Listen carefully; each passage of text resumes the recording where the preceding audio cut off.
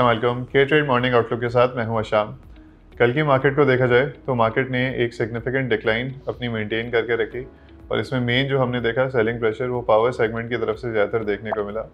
One of the reasons भी कि जो पावर सेगमेंट के हवाले से गवर्नमेंट ने एक अल्टीमेटम उनको दिया था, जिसमें ये मेंशन किया गया था कि उनके जो प्रोसेस हैं, उनके जो ऑपरेशन हैं, उनको स्टेपुलेटेड डेडलाइन के ऊपर वाइंड अप किया जाए। उसकी वजह से हमने देखा कि तमाम ऑटो तमाम पावर सेक्टर कंपनीज़ के अंदर एक काफ़ी हद तक सेलिंग देखने को मिली। But on the other hand ये भी लग रहा है कि ये चीज़ फ्रोवेशन को नहीं जा सकती या एक स्ट्रॉन्ग इम्प्लीमेंटेशन की तरफ़ नहीं जा सकती गवर्नमेंट की तरफ़ से।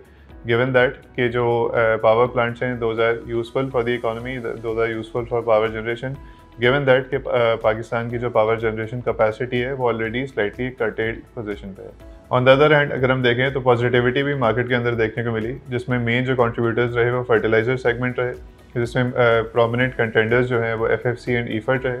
ऑन द इसके साथ साथ अगर हम देखें तो बैंक्स के अंदर भी हमें एक पॉजिटिव मोमेंटम देखने को मिला notably in U B L and M C B news site पर देखें तो आज की most prominent news I M F की बोर्ड मीटिंग ही रहेगी।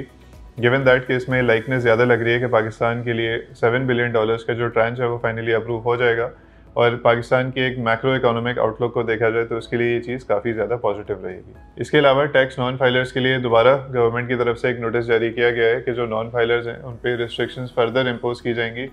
गिवन दैट कि ज़्यादा से ज़्यादा लोग जो हैं, वो टैक्स ब्रैकेट के अंदर आ सकें या उनको इनक्रेज किया जा सके कि वो टैक्स फाइलर टैक्स फाइलर बनते रहें। इसके हवाले से गवर्नमेंट ने यह अनाउंस किया है कि जो नॉन फाइलर कैटेगरी है, उसको टोटली एलिमिनेट कर दिया जाएगा। इसके अलावा आज बी एफ़ बायो साइंसिस के आईपीओ का भी लॉन्च है। जिसको के ट्रेड ऑफिशियली मैनेज कर रहा है।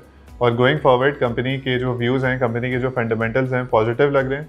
इन द सेंस कि कंपनी एक काफ़ी ज़्यादा नीच मार्केट को टारगेट कर रही है for their life saving medication जो बायोलॉजिक बायोलॉजिकल मेडिकेशन जिसको कहा जाता है। और जिसकी वजह से इसकी जो शेयर प्राइस है या इसकी, इस कंपनी की जो अपनी फंडामेंटल्स हैं, जो इसकी फाइनेंशियल्स हैं, वो काफ़ी हद तक इन फ्यूचर इम्प्रूव होते हुए दिख रहे हैं। इसकी जो फ्लोर प्राइस है वो फिफ्टी फाइव रुपीज़ है। फिफ्टी फाइव रुपीज़ से ओपन होना है। And it is currently capped at seventy seven rupees growth valuation को फ्लोर प्राइस पे यूज़ किया जाए तो ये लग ये रहा है कि थर्टी परसेंट तक अपसाइड एक्सपेक्टेड है इन द स्टॉक और 79.52 तक एक्सपेक्टेशन है कि ये बढ़ सकता है। इन चीज़ों को देखते हुए यही लग रहा है कि इसके अंदर सब्सक्रिप्शन एक फ्रूटफुल इंडेवर रहेगा। आज की मार्केट की बात की जाए तो market still slightly under pressure ही हमें नज़र आएगी। One of the reason being के रोल ओवर वीक है तो पोजिशन स्लाइट लेवल्स के ऊपर डिस्पोज ऑफ़ होती रहेंगी। But on the other hand अगर हम देखें तो हैवी हीटर स्टॉक्स या ब्लूचेप स्टॉक्स की तरफ़ से, जैसे हमने कल देखा especially in the fertilizer segment हम ये देख सकते हैं कि मार्केट को एक पॉजिटिव सेंटिमेंट भी मिल सकता है।